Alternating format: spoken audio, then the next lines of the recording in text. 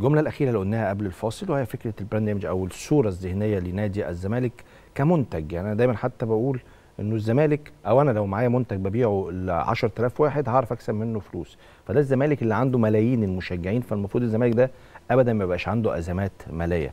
إزاي بتشتغلوا أو بتفكروا إن الصورة الذهنية ديت تتعدل أو تتحسن الفترة اللي جاية عشان يبدأ الزمالك ما يخشش في كثير من الأزمات المالية زي ما بيحصل دلوقتي؟ هي دي قيمة القائمه الموحدة. م. إن إحنا عبارة عن خليط من الأشخاص المحبين لنادي الزمالك م.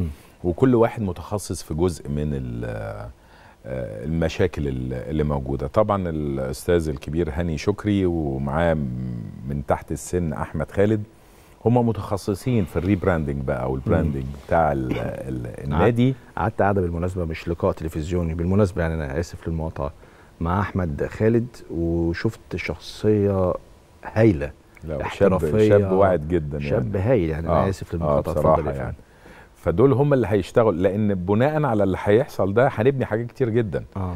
أنت سهل إنك تستعيد لأن نادي الزمالك اسم كبير مم. كبير مم. عليه شوية بس كده تروب آه. آه. آه عاوزين نشيل ده فبسرعة هيلمع جدا وجماهير هتخدمه أنا في أحد اللقاءات آه آه كنت براهن على ريمونتادا رجال الأعمال ومحبين نادي الزمالك ومشجعين نادي الزمالك الأسماء الكبيرة والناس أوه. المحترمة اللي هتقدم يد العون بنادي الزمالك مش لازم يبقى مادي آه مش تبرعات مش لازم آه. مش لازم أنا اللي عنده دماغك. اللي عنده فكرة اللي آه. آه. عنده تسهيلة معينة في طريقة معينة صح. حاجات كتيرة جدا هت نادي الزمالك هيرجع له الكلام ده بسرعة جدا. فدي أول حاجة إحنا هنعتمد عليها. ممتاز. ال rebranding لاسم نادي الزمالك. دي نقطة مهمة جدا.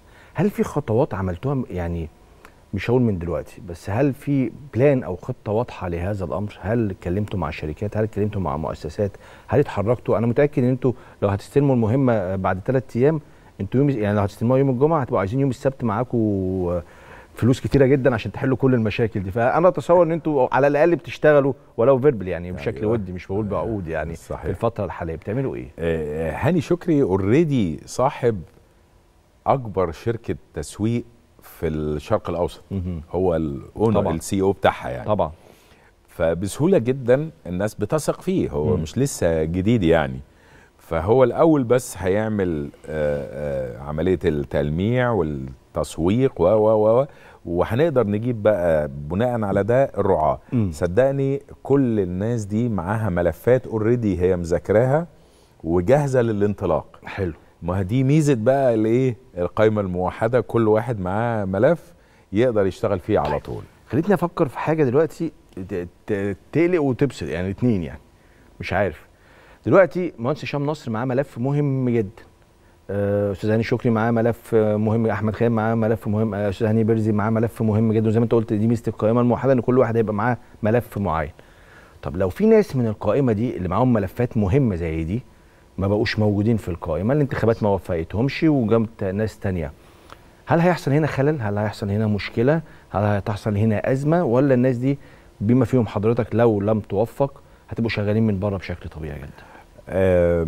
كل الناس اللي في القائمه دي رجال أعمال وأصحاب فكر وإدارة ناجحين اوريدي الناس اللي بتوصل لهذا المستوى في النجاحات ديت وفي إدارة حجم مؤسسات كبيرة جدا بيبقى عندها من سعه الأفق وسعه الصدر. إن هي تستقبل وتحتضن أي حد طالما هو معاك في نفس الاتجاه. آه النجاحات أنا ما بقولش إن ال- القائمه الموحدة فرض.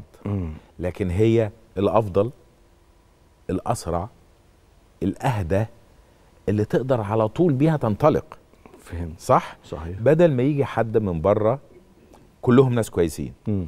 لكن قد نختلف فكريا مم. وكل واحد يتمسك بفكرته أو رؤيته مم. على بال ما الناس تتفق هتاخد شوية صحيح وقد لا تتفق صحيح لا أنا اللي صح. أنا ال- المفروض كلامي اللي يمشي وهكذا. صحيح. فاحنا عايزين نتفادى بقى الكلام ده ويا ريت يعني اتمنى النجاح للقائمه الكاملة إن شاء الله.